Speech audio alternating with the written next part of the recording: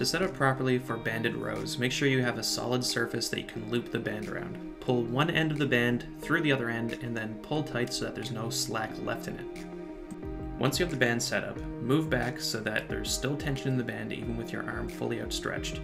Make sure your palm is face down and your arm is fully extended forward, and then as you pull your arm towards you, make sure you're rotating so that your palm faces your side.